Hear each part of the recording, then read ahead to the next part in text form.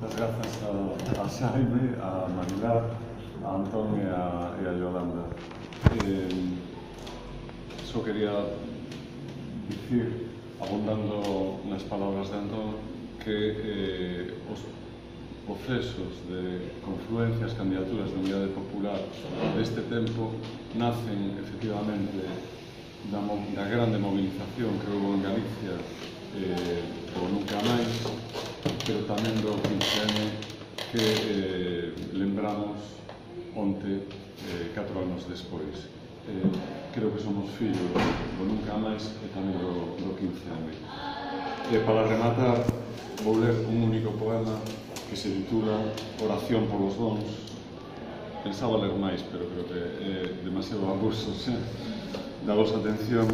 Titúlase Oración polos dons, é unha especie de acción de gracias Mm, na que espero eh, reflectir eh, o, o, que, o, que, o que sinten os lectores e o que podedes sentir todos vos ante eh, os grandes tesouros do, do universo. Oración polos dous. Polo enigma do tempo no océano das horas, polas pedras do pindo desde a boca do río, polo ouro do abrente cun tutú de magnolias, polo mapa das nubes e os seus desafíos. Pola patria sentida no verde que arrastran, as leiras ata a praia, polos vellos navíos.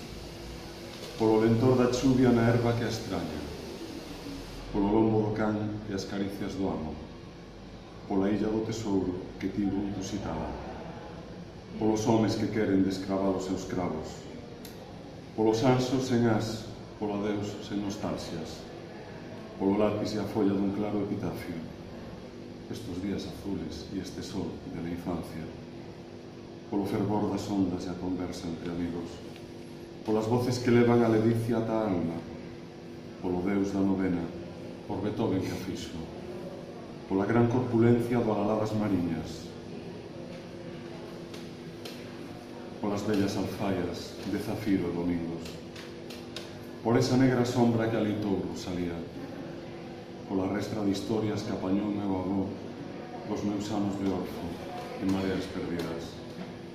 Polos todos, por todos os brancos que ven os esquimós, polo rasgo de Orson, polo Ainis Fridelleis, polo home tranquilo segundo San Leonfo, por aquela emoción da nosa carta aos reis, polo vigor da álxebra sentimental do mundo, polo gusto do bósforo de vainillas que navegarte por dentro no roncel en que duro, polos beixos impuros en que eu estremezo, polos mil arroaces que brincaron por muros, polos ollos de gata por tu salud de bezo, polo faro chantado no alto de Nariga e o resplandor carnal que sobrevive ao tempo. Polas mechas que prenden os incendios da vida, por esa lei do amor, quien lo probou lo sabe, polas fotos de Adams nas paisaxes máis limpas, polo sol que Tolstoi colgaba da bondade, pola voz de Veloso cantando fina estampa, polas mazás reinetas arrincadas da árvore, pola cunca que ofrece Zurbarán na Nación, por Susana de Rembrandt sen os vellos aqueles, polos vellos que un día levantaron a rabia contra Franco aquel, polos anos de Neves.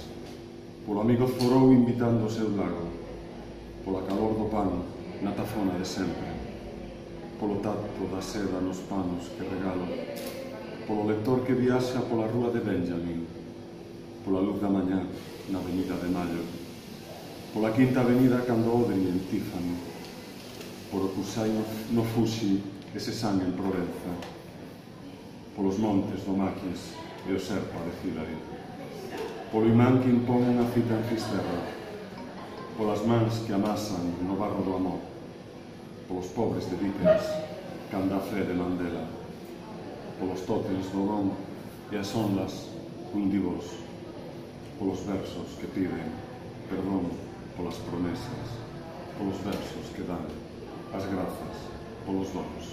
Gracias.